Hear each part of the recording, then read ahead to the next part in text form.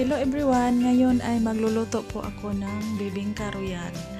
So, ang ingredients natin ay 1 cup na sugar, butter, dalawang itlog, cheese, evaporated milk, condensed milk, at saka glutinous rice flour. So, ang unang gagawin ay yung itlog i-mix na mabuti. Hanggang ito ay ma-well combine.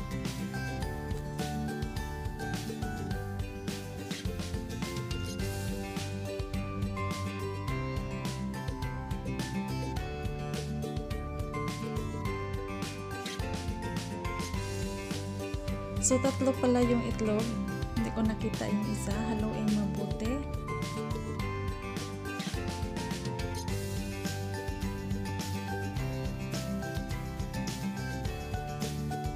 I-add natin yung 1 cup sugar. Haluin din mabuti.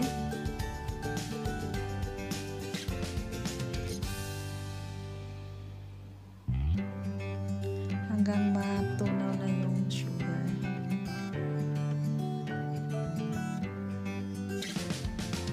So, dahan-dahan natin i-add yung mga ibang ingredients, yung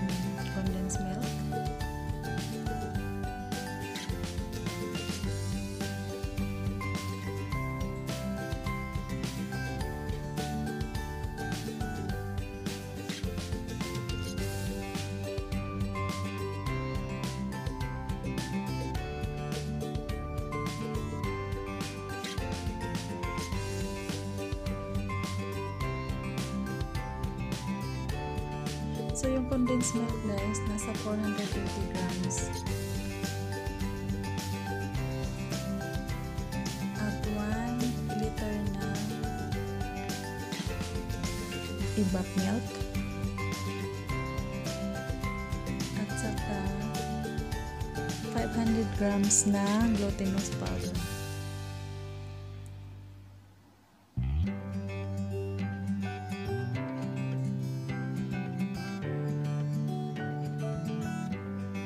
So, i-mix lang mabuti until na-well combine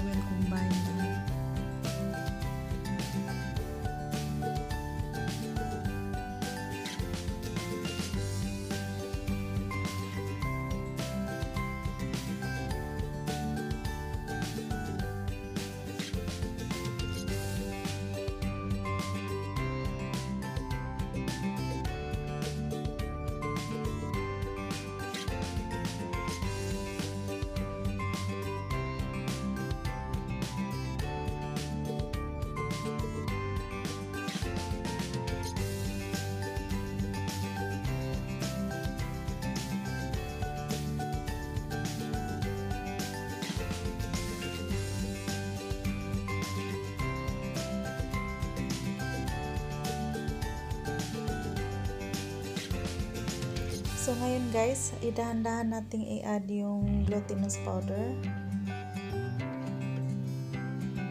Para hindi siya mag, ano, mag-lumps, mag-ubo.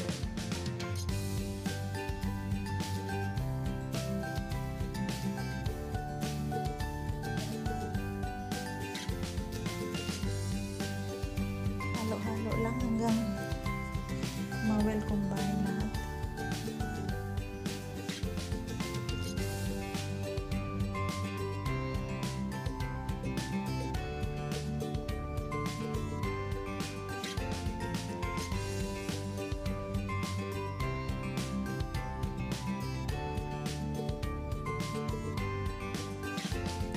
parang maliit lang yung ano ko guys. Mixing bowl. So dahan-dahan lang sa pag-mix. Para hindi siya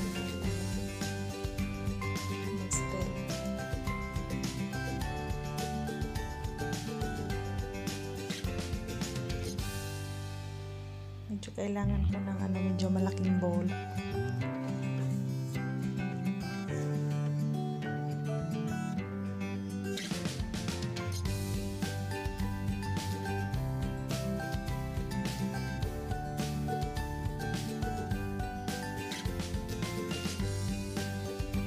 So, ayan guys, ilipat na natin sa foil. So, ang foil, guys, hindi ko napakita sa inyo. Nilagyan ko siya ng butter at saka powder para hindi siya magdikit.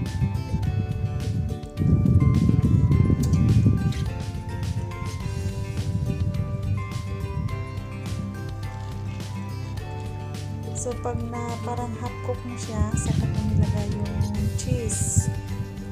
Cheese kasi hindi siya grated ang nabili ko. Ano siya slice. So, ako na ang nag-gad-gad. Ako na nagkuskos.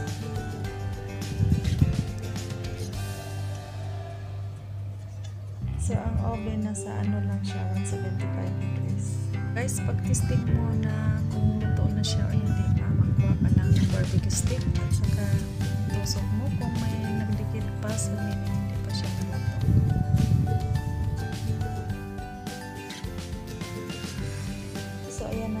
luto na siya. Super yummy. Kung gusto niyo hindi masyadong matamis, pwede mo i-less yung sugar. Instead na 1 half, ah, 1 cup, gawin mo siya 1 half cup.